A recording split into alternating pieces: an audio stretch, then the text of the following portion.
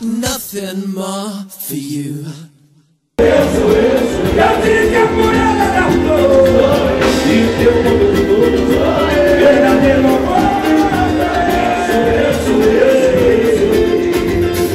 Essa é uma das primeiras músicas do Chico.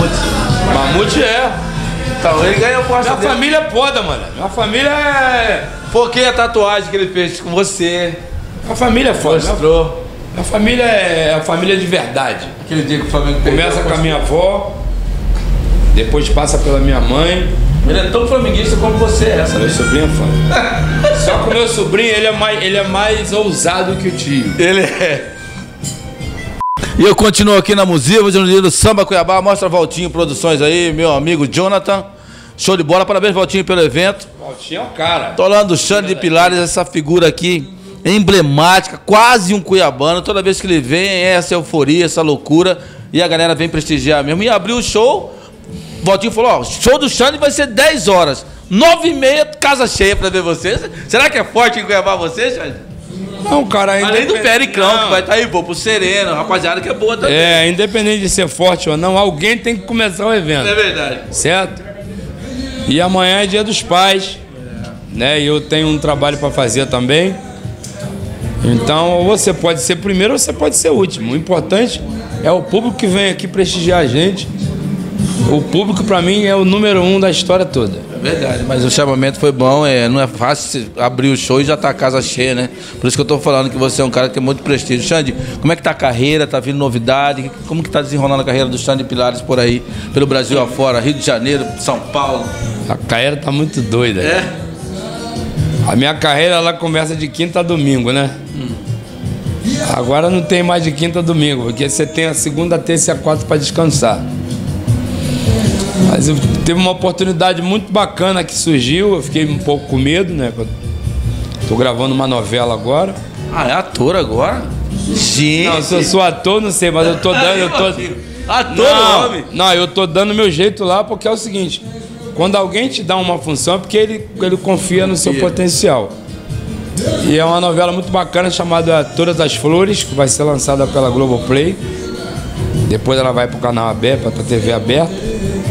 Tem eu, Mumuzinho, tem o Douglas, tem a Michelle Barbosa com a super atriz, tem a Heloísa, Heloísa Roine, tem o Zezé Barbosa, tem o Javeco, o nome dele é difícil, mas é o Jonathan. É uma novela muito bacana que eu vivo um diretor de bateria chamado Seu Darcy, lá da, da área da Gamboa, ali no centro do Rio, lá do Filhos da Gamboa, que é o bloco. E é, é, pra, pra mim é uma experiência muito bacana porque, tipo assim, a, quando você se propõe a fazer parte de- do mundo da arte, você tem que estar preparado para tudo. Foi o que eu falei ali no palco. Eu só queria, ser to- só queria tocar e compor. Não queria nem cantar. Não queria cantar, não queria. Aí for te perguntar, ah, você gosta de cantar? Não.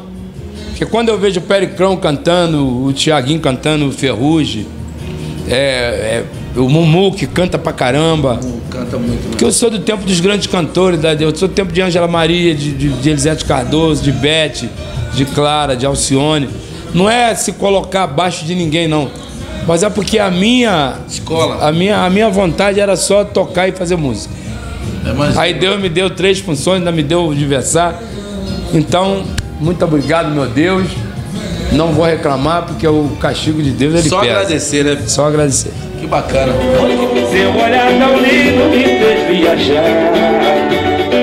Vi no teu sorriso imenso mar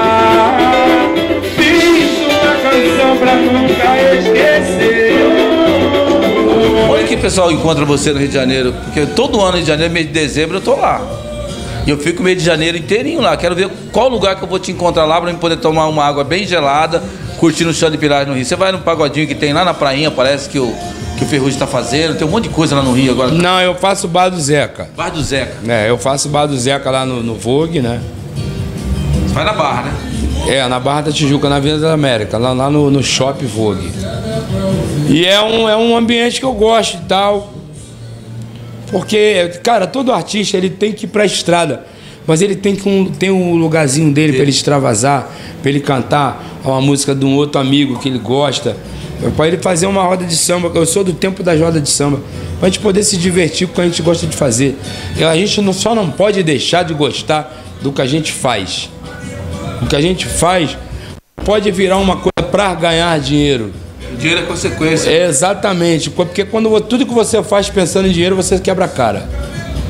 Mas tudo que você faz por amor que você faz, aí tá tudo certo. Até porque eu tenho uma, uma, uma ideia do dinheiro. O dinheiro é preguiçoso, gente. O dinheiro, ele é preguiçoso. O dinheiro, se você parar pra o dinheiro, ele não gosta de gente que compartilha ele. Ele gosta de gente que guarda ele. Porque ele não quer circular. Você pode ver que o, o, os caras que mais os que mais ajudam as pessoas são os que não têm. É verdade. Porém, não vamos generalizar, eu conheço muitas pessoas que têm muito, que ajudam. Mas a grande maioria que tem muito é tudo egoísta. É tudo. É, ama pra caramba o dinheiro. Quebra buraco na parede, guarda. Deixa quebra... tudo lá no cemitério. Aí quebra, aí depois vai morrer, não vai levar nada. A última vez que você me viu, tô melhor agora? Cara, ele levou um susto. quê? Porque eu fiquei com problema de depressão, é, fiquei mal pra caramba. E quando ele me viu, falou, pô, tu tá diferente, tava magrinho, tinha, tava, tinha perdido uns 15 quilos, ele percebeu isso aí. Eu lembro isso aí, a última vez que você veio aqui na. Aí agora já melhorou um pouquinho o visual, a forma de conversar. Feliz de te ver novamente. Obrigado, Xande. Obrigado ver você, sua produção. Deixa a gente à vontade. Não é igual os artistas aí que a gente entrevista. O cara três perguntas, não sei o que, não sei o que. Aqui não tem. me- Não falou nada. pro- João não fala isso. João não fala. Não falou nada. Entrou, me cumprimentou. O Xande estava sentado. A conversa discorreu, rolou aí, ó. É assim que é artista. Não é assim como essa geração que está vindo agora aí. Pelo amor de Deus. Não é assim, porque a imprensa, ninguém vai colocar você é, numa saia justa. A gente quer fazer um trabalho. Como vocês estão trabalhando, a gente também. Só isso. Para quem não pôde vir no seu show, ver a matéria e falar, pô, podia estar lá e não, e não tá, mas na próxima eu vou. Não, mas assim, tem você muita- mas- Pilares é, mas aqui. tem muita coisa que não é o artista. É, vou até aproveitar e falar para os senhores produtores. Vocês não são artistas. Vocês não sobem no palco. Porque vocês tratam as pessoas mal, vocês são arrogantes. Entendeu? E não precisa disso. Porque na hora de resolver lá, o, o contratante ele não te contrata, ele contrata o seu artista. Aí você, às vezes, toma uma atitude que o artista não tomaria, você deixa o artista mal. Nem sempre artista. Eu sei porque eu já passei por isso. Quando eu era plateia. Isso que a minha rapaziada que trabalha comigo é, tem que pensar da forma que eu penso. Tem que tratar as pessoas direito. Porque quem compra o ingresso é o público. É, hoje não, não é mais. Ninguém compra disco mais hoje. É, é negócio de. Internet, né? Negócio de seguidor, que eu também acho que é uma mentira do caralho, mas tudo bem. Mas de certa forma, a pessoa que te admira tem que ter prioridade. Então você não é o artista que sobe no palco. Obrigado, Xande. Pô, pessoal. Bota na tua cabeça. Deixa- Não, para de negócio de brigado. Esquece pessoal- o Felipe. o pessoal vai Ah, entender lá. ele tá- Daqui tá a pouco vai lá. dar dura em mim. Não, ele não falou Então, nada. vou botar um bagulho na depois edita. Você não é o artista que sobe no palco. Porque se o show for uma merda, o cara não vai falar de você, vai falar do artista. Então, por favor, dá uma moral, sai de cena, faz só a tua função que tem que ser feita e deixa o artista fazer a dele. Porque você não é artista. Então para de maltratar o público. Porque você não depende do público, mas o seu artista depende. Preciso falar mais nada. Xande de Pilares, esse é o fera. Não é à toa que ele tá tantos anos no mercado, tava com uma banda, veio carreira solo e tá aí, ó. Fazer sucesso é difícil.